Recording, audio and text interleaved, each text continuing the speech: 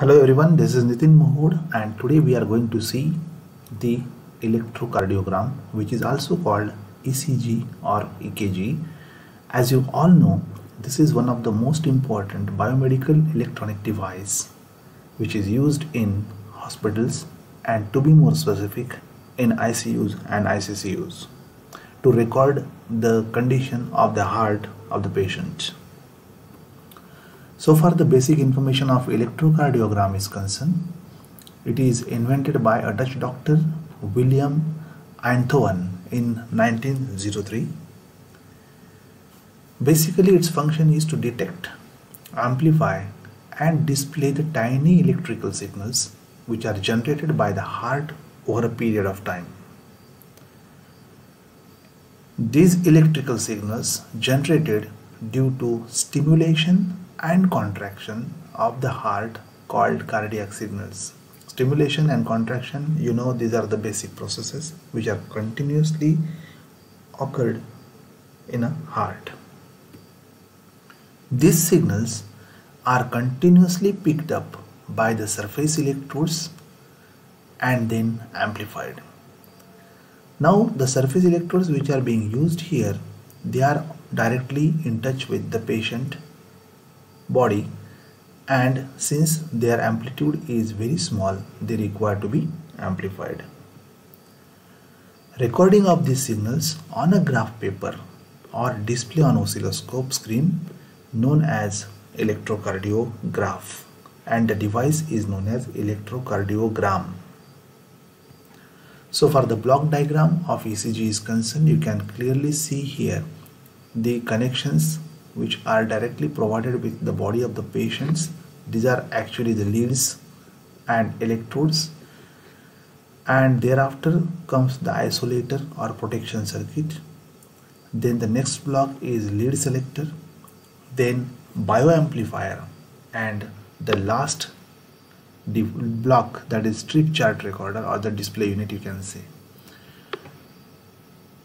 Block diagram consists of surface electrodes which we have shown through the connections to the body directly. Isolation protection circuit lead selector circuit amplifier which we can also call as bioamplifier and strip chart recorder. Now we will first speak of electrodes. So cardiac signals generated by the heart and body are picked up by placing surface electrodes at different parts of the body as you can see here in the diagram that at the chest then left arm right arm right leg and left leg. At the different parts of the body the electrodes are connected right? And therefrom the cardiac signals generated from various parts of the bodies are picked up. A separate earth lead is connected to the right leg of the patient this one right? This is common that separate earth lead is connected to the right leg of the patient preventing the patient from the electric shocks. Electrodes are connected to the patient in a standard configuration and this is decided by the doctors or the medical technicians so as to diagnose the condition of the patient The next block is isolator protection circuit or isolation protection circuit. What it does, it basically isolates the patient's body and ECG, protecting the patient as well as the damages to the ECG. So separation it is providing. Output of this block is then fed the lead selector circuit. The name itself tells you that it helps the medical doctors and technicians to select the particular combination of the leads according to the diagnosis to be done. Lead selector circuit permits the doctor technicians to choose any one of the following electrode pair for getting ECG. There may be these combinations right arm, left arm, right leg, left arm, left leg and right leg, right arm, left leg and right leg, here you can see one thing is common that right leg and this is basically the earthing provided to the patient for chest the leads left arm right arm and left leg electrodes are connected together internally in the ECG. Voltage picked up at the chest electrodes is then recorded with respect to the combination of limb electrodes and this combination is decided by as I already told you the medical doctors and technicians. Separate electrode recording can also be done and this is known as unipolar recording. The next block is of biological amplifier. We are calling it biological amplifier because the biological parameters which are having very less magnitude they are required to be amplified here and that's why the name. Voltages picked by electrodes have low amplitude. These signals are amplified by preamplifier and then by the main amplifier. Output of the amplifier is then feed to the strip chart recorder or CRT that is cathode ray tube that is the oscilloscope display you can see. Recording unit has got the facility of getting printout also.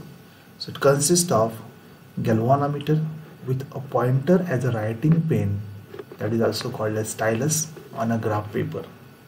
How does it works? Stylus needle that is pointer of the galvanometer deflects as per the variations in the output of the amplifier. So whatever the changes occurring in the signal at the output of the amplifier accordingly the stylus needle will deflect on the graph paper like this okay DC motor is used to run the graph paper at constant speed of 25 millimeters per second so as to record the electrocardiograph on the graph paper with horizontal and vertical lines as you can see here. So this graph paper is constantly moving because of the DC motor and this is moving at the speed of 25 millimeters per second. And because of the needle deflections as per the changes occurring in the signal's amplitude at the output of the amplifier the graph is plotted like this on the paper which is called as the electrocardiograph. Here the typical cardiograph of the normal patient is shown where you can see the P wave followed by QRS complex and the T wave and this is repetitive wave. This is for the normal patient but there may be the fluctuations occur according to the patient's condition. So for the applications of the cardiograms are concerned, it determines the heart rate quickly, diseases of heart and amount of damage that heart can sustain be determined by careful study of the cardiograph. It can diagnose poor blood flow to the heart muscles which is in medical terminology called as ischemia. It can also diagnose the heart attack. It can also diagnose the abnormalities of the heart like heart chamber enlargement and abnormal electrical conduction. I hope the idea of electrocardiogram and the block diagram of ECG is clear to you along with the applications. Thank you.